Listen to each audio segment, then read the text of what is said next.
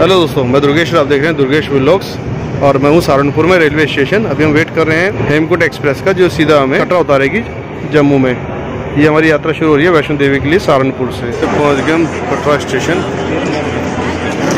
ये लेफ़्ट में अपने ऑटो और पार्किंग स्टैंड ये बाहर जाने का रास्ता। स्टेशन के सामने आप तीन सौ, साढ़े तीन सौ रुपये में नया वहाँ का सिम भी ले सकते हैं, और जबकि अंदर मार्केट में आपको डेढ़ सौ रुपये ऑन रेंट भी मिल जाएगा। कटरा स्टेशन से लेकर कटरा बस स्टैंड तक ऑटो वाले ने हम दो लोगों का एक सौ दस रुपये चार्ज किया था। यहाँ पे बस स्टैंड पे आपको निहारी का भवन मिलेगा, जहाँ से आप अपने रुकने के लिए, नाइट स्टे के लिए, ऊपर के लिए बेड या रूम बुक कर सकते हैं। हमें एक सौ बीस रुपये पर हेड के हिसाब से डॉर्मेट्री बेड मिल गया था, जिसमें कंबल के साथ में बिस्तर मिले थे। ये फैसिलिटी दो जगह अवेलेबल होती है, मनोकामना भवन में और अर्धकुआरी भवन में। निहारिका भवन से ही आप अपने लिए स्पेशल पूजा की बुकिंग भी कर सकते हैं, जैसे कि यहाँ पे सामने स्क्रीन पे आ रहा है। मात्रा वैष्णो देवी यात्रा से पहले आपको अपना रजिस्ट्रेशन कराना होगा। ऑनलाइन भी कर सकते हैं स्टेशन से भी कर सकते हैं और यहाँ बस अड्डे के पास से भी कर सकते हैं। इस वाले यात्रा काउंटर से आपको आर कार्ड मिलेगा, जो आपको अपनी पूरी यात्रा में अपने साथ ही रखना है। कटरा बस स्टैंड से ही कटरा मार्केट शुरू हो जाती है और यहाँ पे कई सारे होटल्स हैं और बाकी फैसिलिटीज़ है। यहाँ पे आप होटल रेंट पे लेकर अपना एक्स्ट्रा सामान है, वो भी रख सकते हैं। या आपको फ्रेश वगैरह होना है, नहाना धोना है, आप वो भी कर सकते हैं। जगह जगह स्टूडियोज बने हुए हैं जो आपको रियल गुफा का फील कराते हैं। जहाँ फ़ोटो खिंचा सकते हैं। शिव शंभू। ये पहुँच गए हम एंट्री पॉइंट यहाँ से हमारी ऑफिशियली चढ़ाई शुरू होगी माता वैष्णो देवी के लिए। बग्गियाँ हैं जिनका कह रहा है एक साइड का पाँच सौ चालीस रुपये और ये हमने जो है यहाँ से ऑफिशियल यात्रा शुरू कर दी। भवन का रेप्लिका बनाया हुआ है यहाँ पे। फुल एंटरटेनमेंट ये रेड लिस्ट है यहाँ पे पौने पेट्रोल पार्किंग के इधर जूम दिखाता हूँ आपको।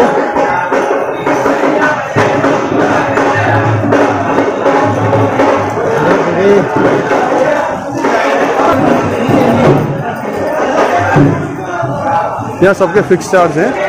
अगर ओवर चार्ज करेंगे तो लिखा हुआ है कि इनके जो है कार्ड कैंसिल हो जाएगा ओवर चार्जिंग पे।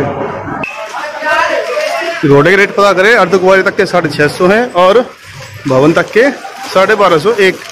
आदमी के एक साइड के। घोड़ों को जाने का रास्ता, पैदल भी जाने का रास्ता। तो हमें जाना पड़ेगा। बाणगंगा मंदिर। ये पहुँचे बाणगंगा, जहाँ पे माता ने हनुमान जी के लिए बाण मार के पानी निकाला था और अपने केश भी धोए थे। इसलिए इसे बाणगंगा और बालगंगा दोनों कहते हैं। ये यहाँ का मैं मार्केट को दिखाता हूँ।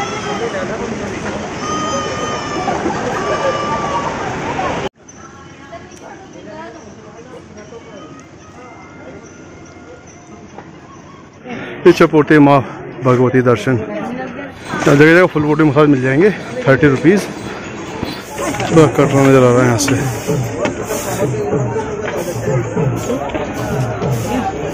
जगह जगह सीढ़ियों का ऑप्शन भी है। अगर आपके घुटनों में जान है और दिल मज़बूत है तो आप सीढ़ियाँ पढ़ो, पकड़ो और शॉर्टकट मारो। जगह जगह आरो लगे हुए हैं, ये इस टाइप के। आप बोतल भर लो, ये वैसे पी लो। सिर्फ़ दो रास्ते हैं हाथी मत्ता के लिए और हिमकोटी के लिए। तो अभी जा रहे हैं हम हिमकोटी की साइड से। बैटरी ऑपरेटेड रिक्शा की लाइन है, यहाँ बुकिंग होती है। तीन सौ चौवन रुपये अर्ध टू भवन के बीच में तीन सौ चौवन रुपये की। और एक आदमी को दो ही टिकटें मिलेंगी। तो यहाँ भी वेटिंग चलती है। जिन्होंने पहले ऑनलाइन बुक कर दिया पहले उनका नंबर आ जाएगा। बाकियों को बाद में आएगा। तो उससे तो बेटर है, उसका वेट करने से अच्छा है। कि अपना जब तक हम पैदल पहुँच जाएँगे। Battery operated rickshaw. भवन है ऐसे पाँच किलोमीटर। यात्रा शुरू की थी सुबह नौ बजे नहा धो के। नीचे एक होटल में गर्म पानी मिल गया था वहाँ नहा लिए थे। वो बार्गेनिंग चलती है वहाँ पर कटरा में। नॉर्मल तो आपको 300, 500, 700 रुपए कहेंगे। क्या हो नहाओ रेस्ट करो सामान रखो अपने 24 घंटे के लिए वो मिल जाएगा। लेकिन हमारी रिक्वायरमेंट थी भाई ओनली में फ्रेश होना है और गर्म पानी से नहाने के लिए। तो हम दो जने हैं तो हमने सौ रुपये में डील कर ली थी कि अपने सौ रुपये में दो जनों को गर्म पानी से नहाना मिल जाएगा। तो एक बार नीचे कटरा में नहा लिए थे। एक बार ऊपर भवन में भी नहाएँगे, भवन के पास भी नहाएँगे, उसके बाद दर्शन करेंगे। तो यहाँ से भवन पाँच किलोमीटर रह गया है। अभी ग्यारह बज के अड़तालीस मिनट हो रहे हैं और अब यात्रा हमारी कटरा शुरू हुई थी। नहा धोने के बाद नौ बजे।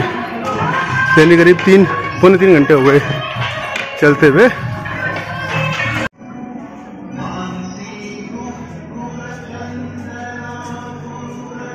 सूखी धरती करे पुकार वृक्ष लाकर करो श्रृंगार। और इसे रेट हैं पिट्ठोर पालकी के। अर्धगौरी से कटरा अर्धकौट भवन। ये हेमकोटी का भोजनालय है। रेट लिस्ट दिखाता हूँ उसमें हम आपको। ये रेट लिस्ट है, सब जगह कॉमन है। टी सात रुपये प्लेन कॉफ़ी मिल्क पाउडर ये सब। खाना तो मैंने टेस्ट नहीं किया, चाय मैंने इसकी टेस्ट की थी पिछले वाले पे। अगर आप टी लवर हैं तो शायद आपको इसकी चाय, यहाँ की चाय पसंद नहीं आएगी। और सबका टेस्ट अलग अलग होता है। मुझे जैसे जैसा लगा मैंने बता दिया। जय माता दी। माता का भवन नज़र आ गया। और जो आपके पालकी, पिट्ठू, गाड़ी सब होते हैं, वे यहाँ तक ही एंड होते हैं। देखिए, यहाँ पे है और इसके यहाँ पे ये लोग बैठे हुए हैं, जो पालकी वाले होते हैं। यहाँ से बाद में अपने आप जाना, लेकिन यहाँ से उतरा ही है चलाई नहीं है। ये है मनोकामना भवन।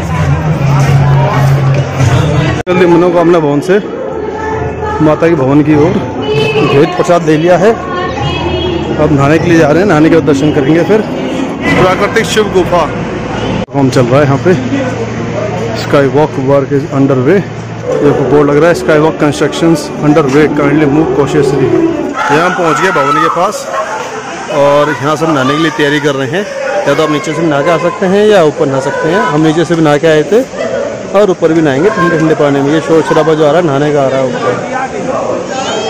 नहा दो के हम भी चल रहे लोकर की तरफ़ अपना सामान रखेंगे और फिर दर्शनों के लिए जाएँगे। लोकर रूम दो तीन।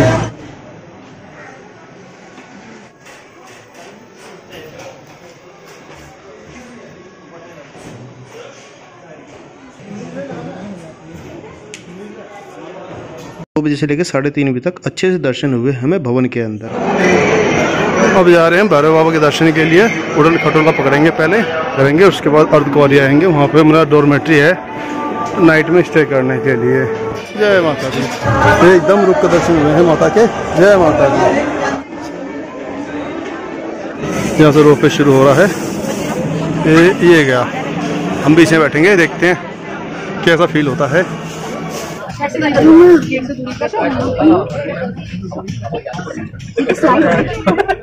You like it?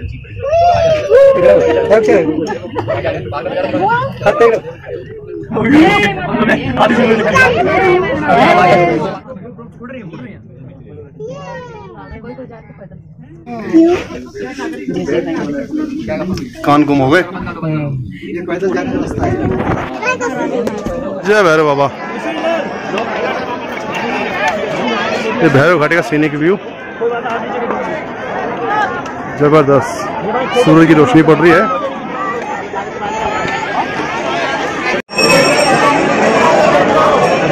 ठीक है?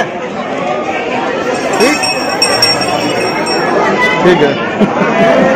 भैरव बाबा का टेंपल है मॉर्निंग में टाइम और इवनिंग का टाइम है। प्रवेश द्वार भैरव बाबा के लिए। बाबा जी की विभूति। बहुत इतनी ये मैं भैरव घाटी से वीडियो बना रहा हूँ उसकी। हाँ जी, छत। जहाँ से हेलीकॉप्टर उतरते हैं, वहीं से ही वापसी का रास्ता है। ये कभी भवन से करीब दो से ढाई किलोमीटर पड़ता है तो यहाँ भी हेलीकॉप्टर आने के बाद इतना पैदल चलना पड़ता है। सौ मीटर दूर है, भवन का रास्ता तीन किलोमीटर है तो जाके जहाँ कनेक्टिविटी मिलेगी तो ये है मोटा मोटा कि ढाई किलोमीटर हेलीकॉप्टर से भी उतर के भवन के लिए जाना पड़ेगा।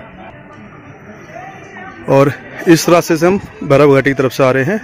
और ये नीचे अर्धकुआरी के लिए जा रहा रास्ता। सांझी छत के पास, थोड़ी देर रेस्ट करते हुए, ये बड़ी होर्डिंग लग रही है, जिसकी वजह से लाइट है ये।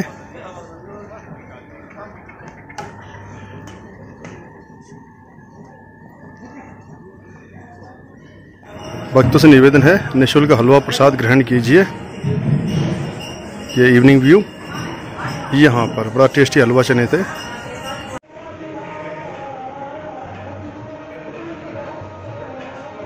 ये मैं हूँ अर्धकुमारी से गर्भजून भी कहते हैं, जहाँ जहाँ माता ने नौ महीने आराम किया था। यहाँ पे आरती होती है सुबह चार से लेकर पौने आठ तक और शाम को चार से लेकर साढ़े सात तक। तो इस दौरान मंदिर बंद रहता है ये सामने बंद रहता है और उसके बाद ही भक्तों के लिए एंट्री होती है। तो इस वजह से इतनी बड़ी लाइन लगी हुई है यहाँ पे गर्भ जून में। तो आरती के समय एंट्री नहीं होती, उसके बाद एंट्री शुरू होती है। ये आपका अर्ध कुमारी। चिन गुफा वहाँ लाइव तो वीडियो का परमिशन नहीं है। तो अर्ध कुमारी पे बड़ी स्क्रीन लगी हुई है, उस समय रिकॉर्डिंग कर रहा हूँ। ये प्राचीन गुफा है, मैया की। जय माता दी। हम नीचे बस अड्डे से ही बुकिंग करा ली थी डोरमेट्री बेड की। एक सौ बीस रुपये पर बेड मिलता है, कंबल के साथ में, शैलपुत्री भवन में। और शैलपुत्री भवन, ये है, और ये है अर्ध कुमारी के पास में। इस सामने अर्ध कुमारी कुमारी मंदिर है।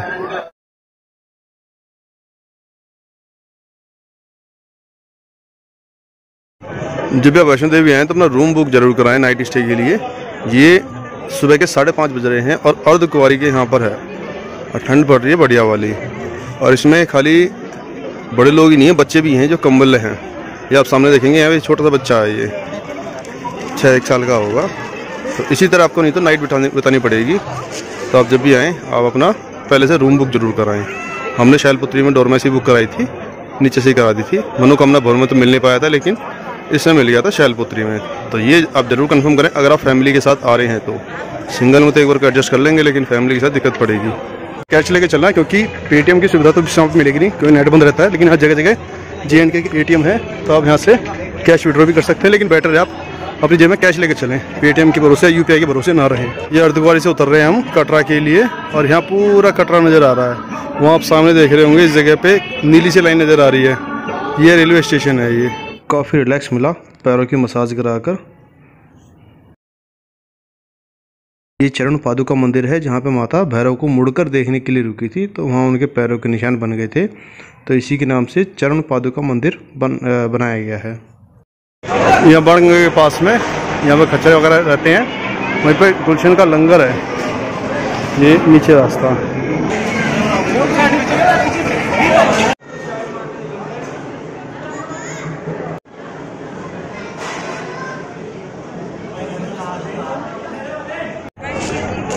Shri Mata Vaishno Katra railway station. सामने रेलवे स्टेशन। यहाँ पे अर्ध कुमारी यहाँ पे।